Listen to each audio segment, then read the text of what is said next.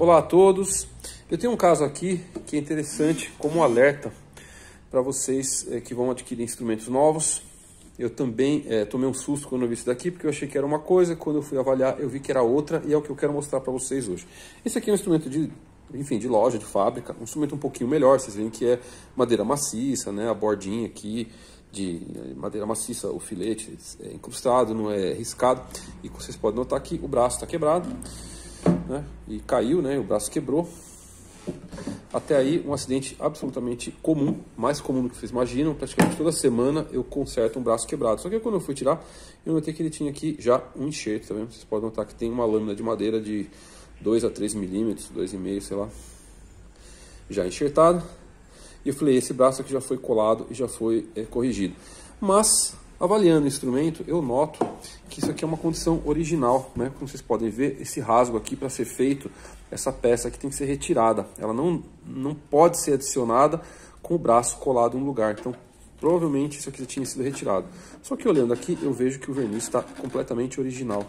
Portanto, isso aqui foi feito na fábrica. O instrumento veio já com esse enxerto, já veio colado. Como vocês podem notar aqui, o verniz é original e ele cobre esse enxerto, tá vendo? O enxerto vem até aqui.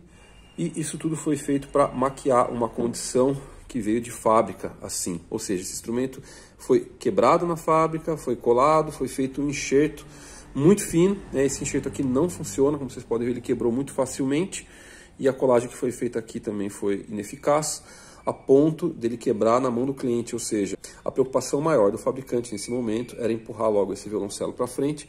Portanto, a partir de agora, essa é uma recomendação que eu faço a todos vocês que pretendem comprar instrumento. Deem uma olhada. É claro que é um pouco difícil, mas considerando a condição do instrumento assim, né?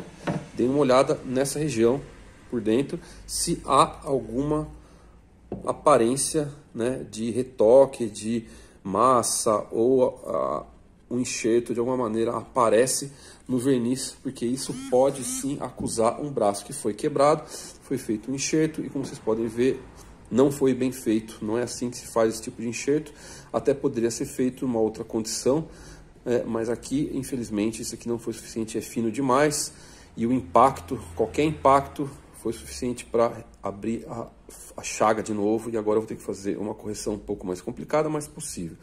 Em todo caso, um custo que o dono do instrumento não considerava quando adquiriu o violoncelo.